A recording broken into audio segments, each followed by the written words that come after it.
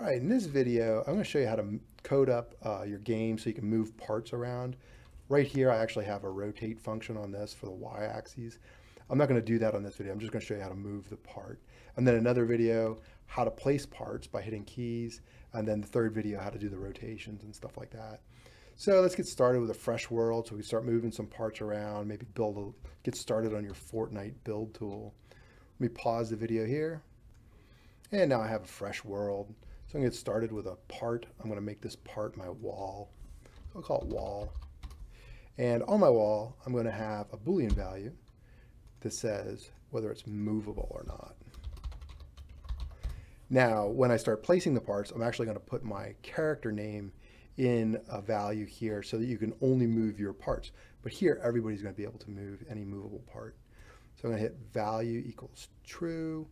And I'm gonna change my wall so that it looks more like a wall. I'm gonna make it brown on my brick color. My materials, I'm gonna make it wood planks. I'm gonna anchor it, hit anchored. And then I'm gonna make the size, say 10 by 8 by 0.5 and pull it out of the ground. Alrighty. Now I'm going to put a remote event so that when I move it around on my client side, it's going to show up on the server. So go to replicated storage, uh, hit the plus sign, add a remote event, call the remote event move RE, move RE, move remote event. Now let me get my local script under starter player, open that up, starter character scripts, hit the plus sign, hit local script, and call this something like move it loc, so you know it's a local script. And let's go get some variables. Say local player, game players. There's my players.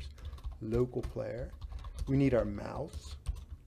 And we'll get that from the player. Get mouse. And we'll need a camera for our positioning purposes. So workspace current camera.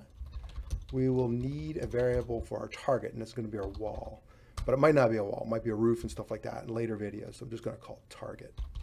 All right, I'm going to make a variable for t-ori, for t-orientation, and I'll make that nil.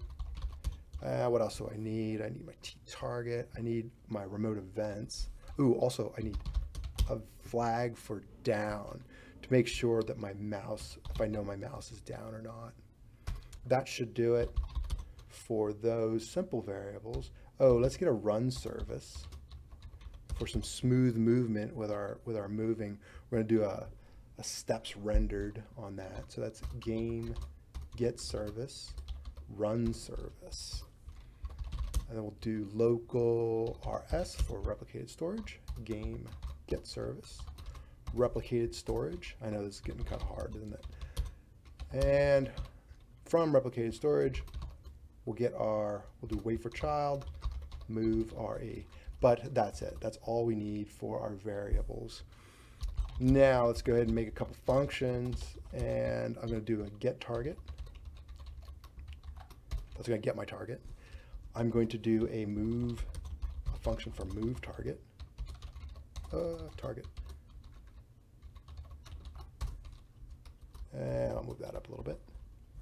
And I'll get a function to finish the move. So I'll just say what finish Oh my gosh, there we go, finish, move. Let's hook up those functions. So our mouse button one down, I'm gonna connect that to get target. Get rid of those two extra parentheses. Then for run service, we're going to do our steps, our renders, render stepped. I always say steps rendered. Rendered stepped render stepped. That's hard to say. Right, and that's going to fire every frame. So we get a nice smooth movement when we're moving our stuff. That's going to be move target. There we go. And let's see what's what else we got. Button one up. We'll connect that. Oh, capital C. That's more the convention. Uh, finish move. Alrighty. So under our get target, let's go ahead and make sure the mouse has a viable target. If it does, let's get that movable tag, movable mouse, target, find first child that's movable. If movable exists and movable value is true, then let's get our target. So we'll say target equals mouse target. We'll get our T orientation, so our target orientation, if I can find my T, there we go. And I'll say target orientation. I always spell that wrong, orientation. All right, that's why I used T ori. And we'll use mouse target filter so we don't get any strange stuff in the background. We only want our target. We want to filter on our target.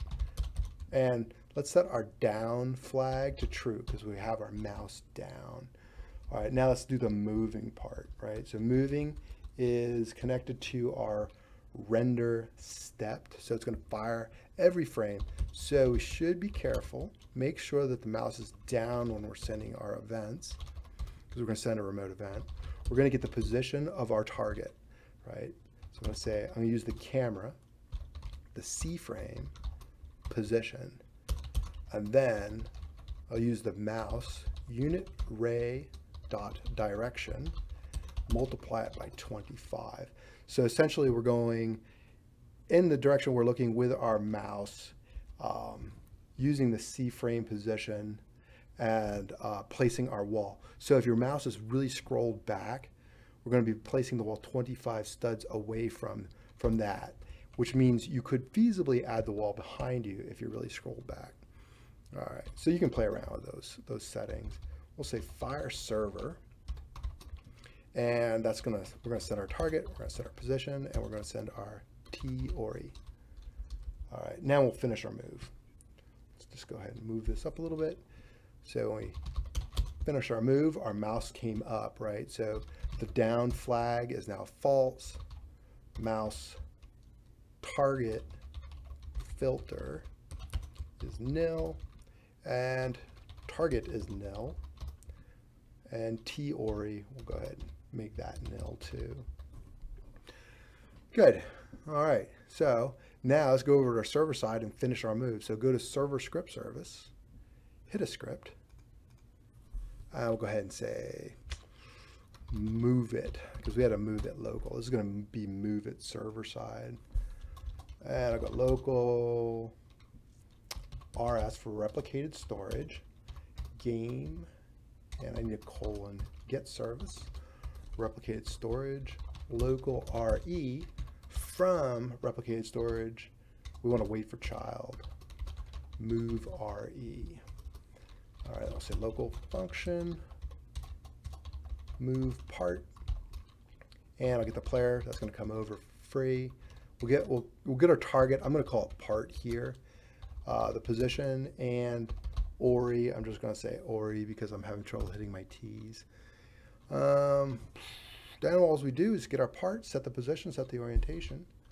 Part position equals POS. Part orientation equals ORI. Hook up our remote event on server event, connect it to move part. All right, let's see what we got. Let's go ahead. Hopefully I don't have any errors. Let me check my output window. View, output. Nope, looking good. Ooh, we're moving the part. We're moving the part. All right, so I hope you had a good uh, a good time on this video. Hopefully it wasn't too confusing. Let me know if you have any questions. Next video, we're going to create the part. We're going to hit like a Z or an X or a C, and it's going to add a part, a ramp, a wall, or a roof.